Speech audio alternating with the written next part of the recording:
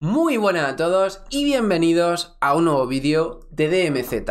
Voy a enseñaros a completar el desafío Bombardeo fallido de Black Mouse nivel 4. Esta misión es un poco complicada porque tenemos que encontrar varios objetos, llevarlos de un mapa a otro y si te eliminan en mitad del desafío tienes que comenzar desde el principio. Así que si no consigues completar los tres puntos de una, vas a tener que empezarlo otra vez desde el principio. Es lo más complicado que tiene esta misión, pero yo voy a enseñaros todas las ubicaciones para que lo podáis completar fácil y rápido y no tengáis demasiado problema. Lo primero que vamos a hacer es ir a la zona de Akdar. Se encuentra en el centro del mapa, muy cerquita de Zaya. Es una zona plagadísima de bots, de los blindados, pero allí tenemos que buscar una carga explosiva que se encuentra justo en la ubicación que os voy a enseñar de fondo, ¿vale? La tenemos en el centro de una plaza, veremos que hay una estatua muy grande y si subimos el pedestal se encuentra justo en sus pies la bomba. Este sería el primer paso. Vamos a guardar la bomba en nuestra mochila y luego tenemos que extraer la partida. Vamos a extraer, la guardamos en la mochila, la dejamos ahí porque la tenemos que llevar al mapa de Asika y buscamos partida en Asika. Ahora allí vamos a ir al siguiente punto. Antes de dejarla en el buzón tenemos que encontrar dos objetos. Uno de ellos es una pila, no una batería de coche, sino pilas de las pequeñas. Las baterías de las pequeñas que las podemos encontrar en cajas de herramientas, pueden aparecer en una estantería, en algún almacén, así que os recomiendo que miréis todas esas ubicaciones. En casa necesitamos sí o sí la pila. Y luego necesitamos los componentes eléctricos. Estos se encuentran muy fácil dentro de los ordenadores. Tenemos ordenadores dentro del castillo, pero también tenemos ordenadores en la zona residencial, muy cerquita de allí. Vamos a ver que hay varios edificios tipo almacenes en una de las entradas a los subterráneos donde podemos encontrar bastantes ordenadores.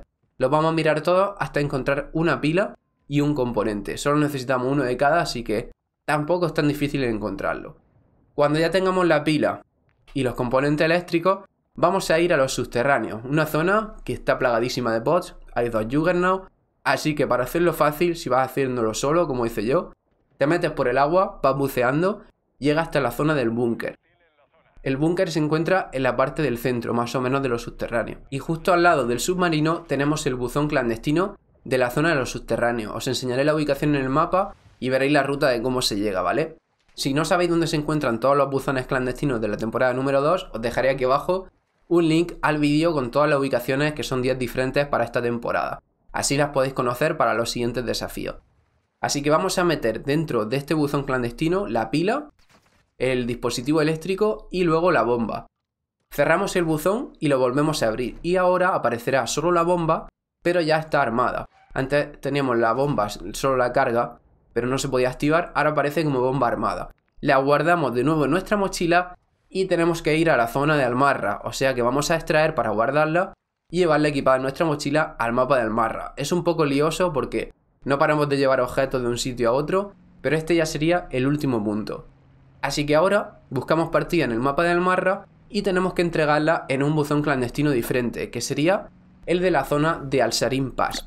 Así que vamos a ir a Al-Sarin, si tenéis suerte no va a salir el Juggernaut en esa zona, así que lo podréis colocar más fácil, pero igualmente suele estar muy llena de enemigos blindados, así que mejor subís por la parte de atrás, por la montaña, que hay una tirolina, o si queréis por la escalera de piedra, y no llaméis tanto la atención de los enemigos, ya que se complica muchísimo porque salen en oleadas muy grandes, casi infinitas. Vamos a subir por la parte de atrás de la montaña, vamos al buzón clandestino y os enseñaré la ubicación de fondo. Metemos la bomba armada y ya con eso completamos la misión. Son muchísimos pasos, lo sé, y complicados porque sobre todo te pueden eliminar a la mitad o en el último y lo pierdes todo, que me pasó dos veces. Estaba haciendo yo solo, me eliminaron cuando iba a entregar ya la bomba armada a la zona de Alsarín y tuve que comenzar desde el principio y eso molesta bastante, pero el desafío en sí, una vez que conoces toda la ubicación y lo que necesitas, no es muy complicado. Si tenéis muchos problemas en la SICA para encontrar los componentes, os recomiendo que vayáis a la zona norte del mapa, ya que aparecen bastantes ordenadores, a las malas del castillo, como he dicho, y la pila es suerte, te puede salir una estantería, yo la encontré por ahí tirada también en la zona de la oficina, es un poco suerte, pero suele haber bastantes pilas, y sobre todo mirar las cajas de herramientas que ahí salen muchísimo. Y espero que esta guía os haya servido de ayuda, dejarle un buen like para apoyar el contenido y que siga subiendo todo este tipo de vídeos. Ya sabéis que podéis suscribiros para no perderos nada, así os vais a enterar cada vez que suba un vídeo nuevo de desafíos, nuevo contenido para Warzone, para Modern Warfare 2 o lo que sea relacionado con Call of Duty. Y estoy haciendo directo en la plataforma morada, tenéis el link aquí abajo por si queréis pasaros por allí. Voy a estar jugando como siempre con seguidores y podemos echar unas partidas. Y ahora voy a completar los últimos desafíos que me quedan y como siempre nos vemos en el próximo vídeo.